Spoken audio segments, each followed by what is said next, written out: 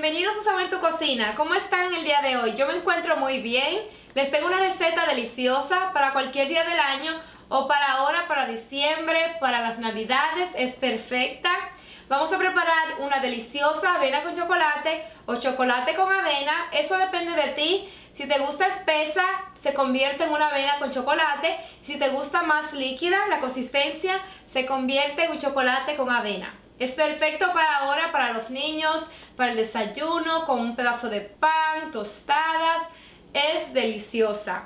Las quise hacer con vibra navideña, las puse en estas tacitas, en estas tazas de Santa. A mis niños me encantaron. Es perfecto para Navidad, cuando se levante temprano con la pijama, esa vibra, me encantan. De veras que sí. Así que si quieren saber cómo preparar esta deliciosa receta, no se muevan porque la receta empieza ya. Estos son los ingredientes, le puedes poner pausa al video o también van a estar en la cajita de descripciones.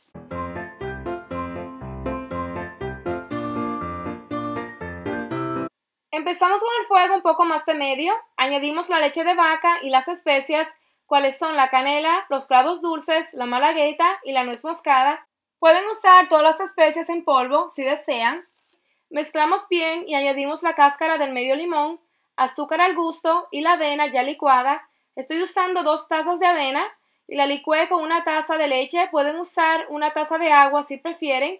El licuar la avena ayuda a que la consistencia nos quede más suave. Meneamos por unos minutos y después añadimos el chocolate, cual es opcional. Pueden usar chocolate en tabletas si prefieren. Meneamos por unos minutos más hasta que ya casi llegue a la consistencia deseada entonces añadimos la pizca de sal o la mantequilla, la leche evaporada y el extracto de vainilla y mezclamos muy bien.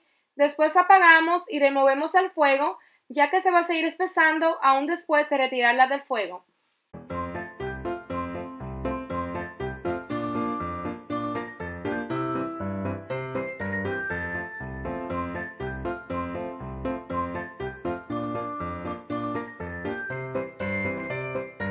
Vieron qué fácil es y deliciosa. Me encanta. Si te gustó esta receta, por favor regálame deditos arriba, coméntame qué recetas te gustaría ver aquí en mi canal y si no estás suscrito, por favor suscríbete aquí abajo para que no te pierdas recetas deliciosas, sencillas y rápidas como esta y nos vemos en la próxima receta. ¡Adiós!